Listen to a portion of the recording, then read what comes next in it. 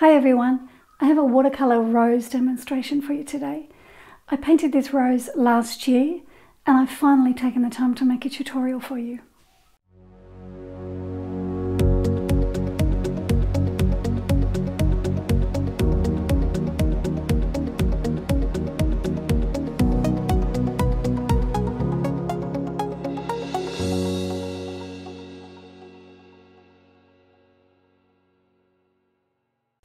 Paint a lot of flowers.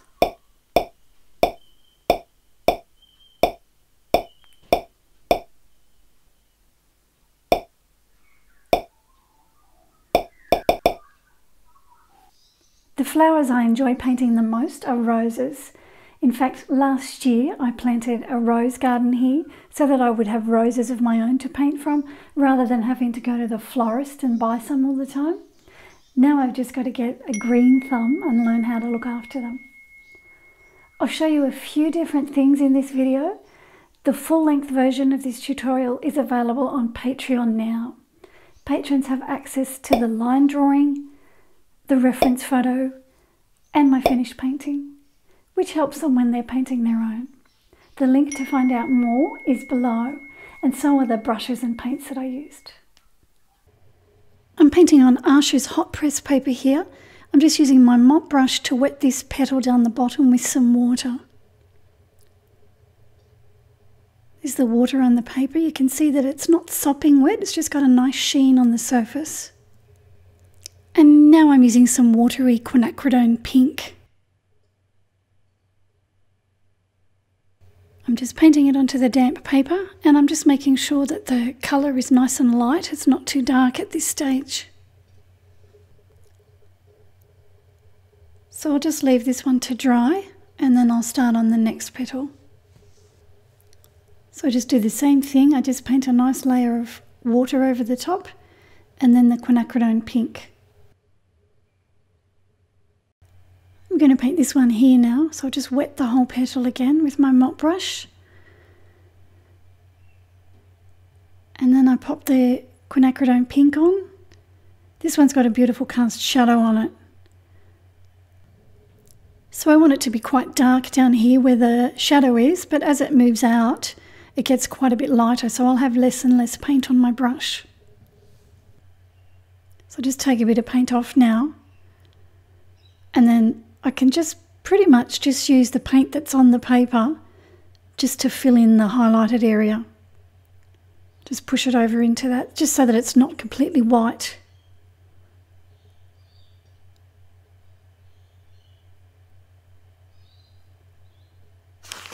So I've washed the whole rose in now with the quinacridone pink.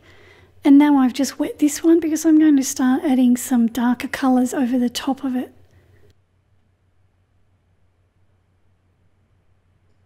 So now I've got the quinacridone pink. Now it's got a fair amount of pigment mixed into the watery mix. I'm just painting it onto the damp paper. So there's more pigment in this than when I did the initial wash.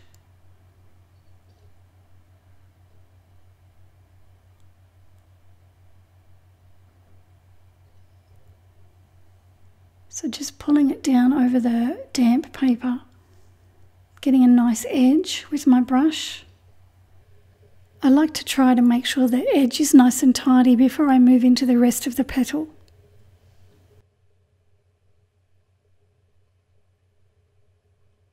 So because the paper's damp I can take my time with this, I don't have to rush.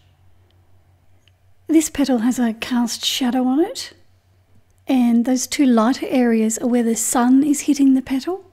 So I've just left those with the first wash over the top. I haven't put any of the darker paint on them at this stage. So I'm just painting around those lighter areas, just using my brush right up on its tip, just so that I can use that nice point that it's got. This brush holds a lot of paint and a lot of water, so I don't have to keep reloading all the time. So now I've got some opera rose that I'm just dropping onto the damp paper. Opera rose is a fugitive colour, which just means that it's not light fast. So some people don't like to use this colour.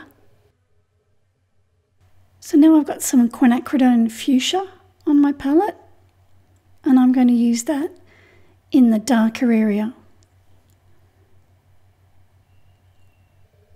So here I'm just putting some water onto the highlighted section. You can see on the reference photo that that little highlighted section is darker on this outer edge. So I just want to put some colour along there and then just sort of flick it into the highlighted area. So this is the quinacridone pink. I'm just pushing it into that damp highlighted area there.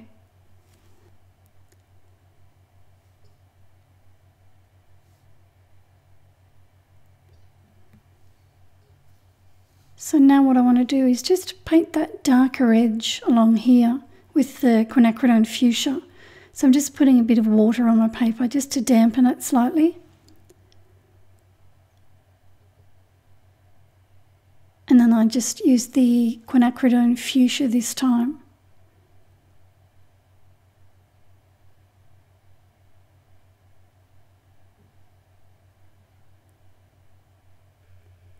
So this edge here is darker than the rest of the petal and it's also got more of a red tinge to it.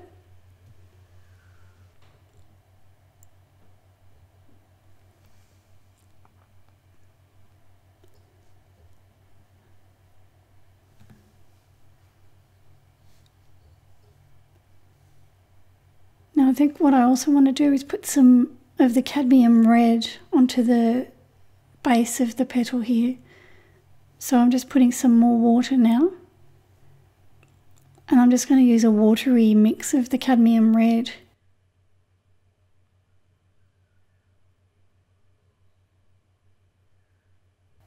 So just picking up some of the watery cadmium red. putting a little bit on the side here. Just to give it a bit more of a reddish tinge. And then I'll put some down near the centre of the flower. And the water on the paper just keeps the edges soft.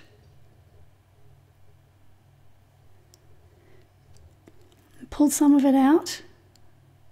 It's following the shape of the petal.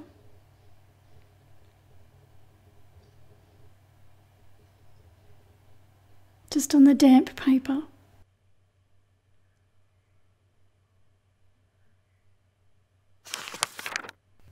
So here I've moved in a bit closer for you so you can see how much water on the paper I've got and how much paint I'm using. So my paper is slightly damp here and I'm just using watery quinacridone pink and I'm just pulling it out towards the edge but as I get closer to the edge I've got less and less paint on my brush because I want it to be lighter on the outer edge of the petal.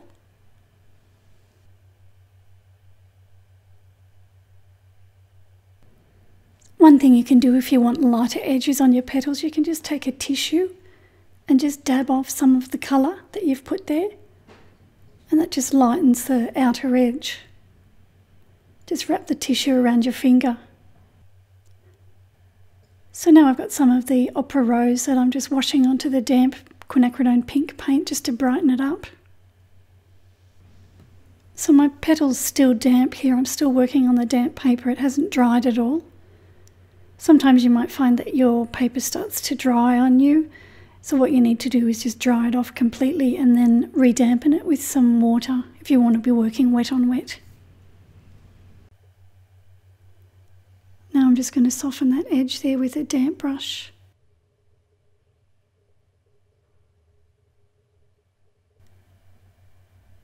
Still working wet on wet and I'm just dropping in some cadmium red down on the darkest area of the petal.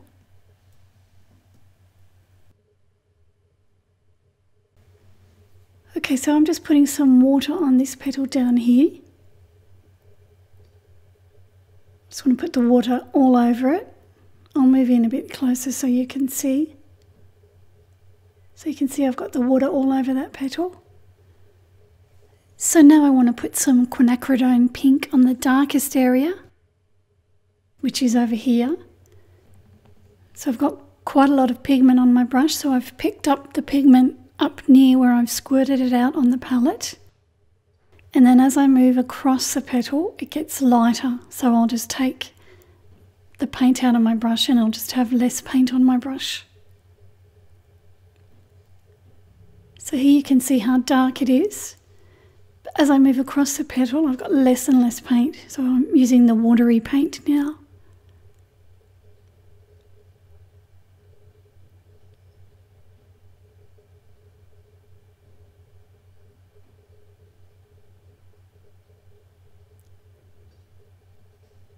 Just taken it further across, but it's very light in colour.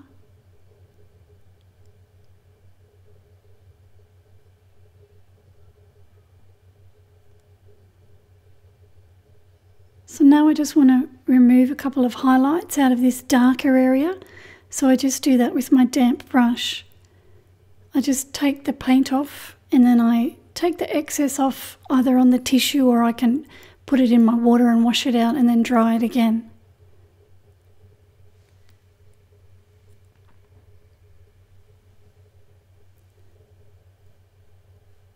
Okay, so I'm just going to put a little bit of that quinacridone pink along the edge there.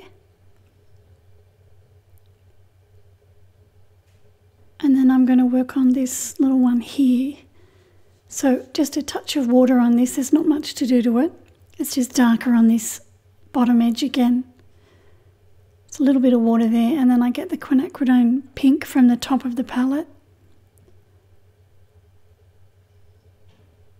And that water on the paper keeps that edge soft.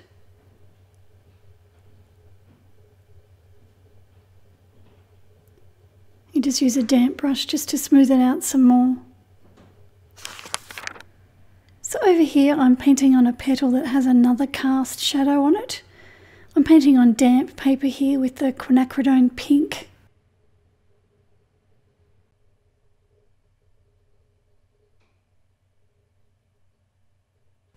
I've just got a touch of the quinacridone pink on my brush and I'm just painting it over the highlighted area that's damp.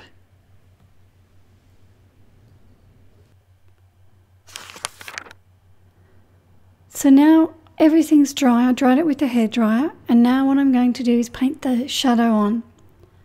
So I've just wet that section of the shadow and now I've wiped my damp brush over the quinacridone pink at the top of the palette to get that really dark, rich pigment.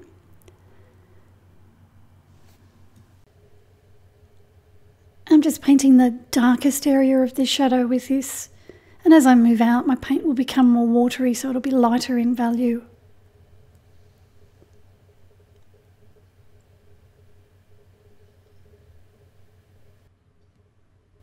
Sometimes there's enough paint on my paper that I can just use a damp brush with no paint in it at all, and I can pull that colour out into the lighter area.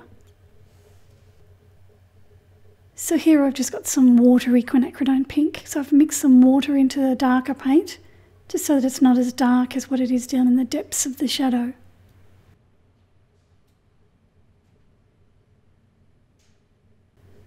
So before that dries, I'm going to drop some watery phthalo blue onto the shadow. Sometimes I might drop it on a bit too heavily, so I just take my damp brush and I just move it out a bit, spread it around so it's not so concentrated in one area. So this just gives it a little blue tinge. Now I've got some of that dark quinacridone fuchsia. Still, my paper's damp.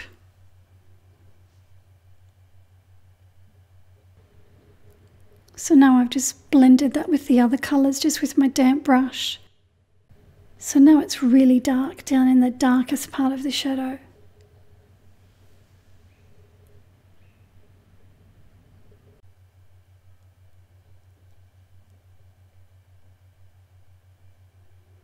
So now I'm wetting the rest of the shadow just with some water.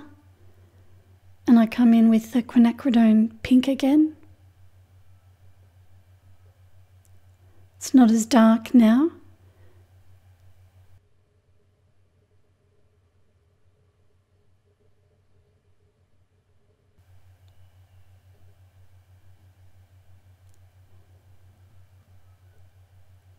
And I do the same thing with the phthalo blue. And a little bit more over here as well.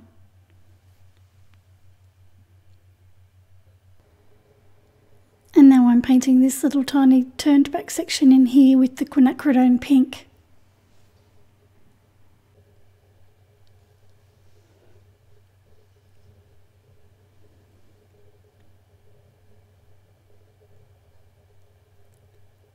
Moving on up to this petal now, I just want to dampen it with water.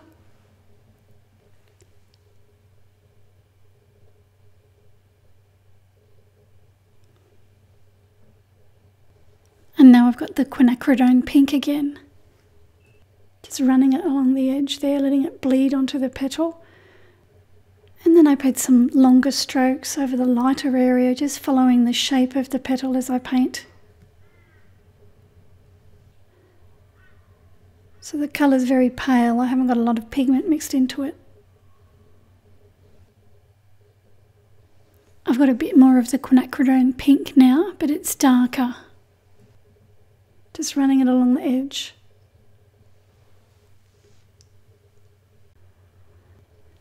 Okay, so I'm moving up to this one now and I'm dampening it with some water just like I did all the others. And now I have some opera rose that I'm just running along the edge there.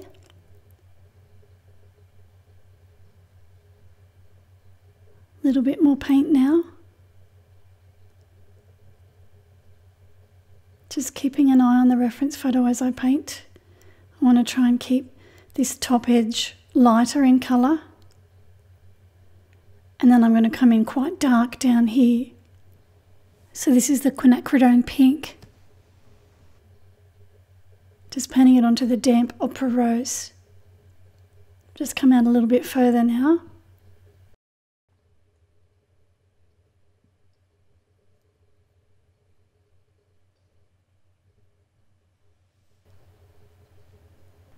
I've got some cadmium red on my brush. Just deepening that colour. So back into the opera rose now, I'm just patting it out further just to get a slightly darker colour there. So I've just about finished the rose now and I'm just running some phthalo blue along the edge of this one. I've dampened the paper with water and the phthalo blue's just bleeding up onto the surface of the petal. So here I'm painting on dry paper. I've got a cast shadow on this petal that I have to paint in. So I'm just using some watery quinacridone pink.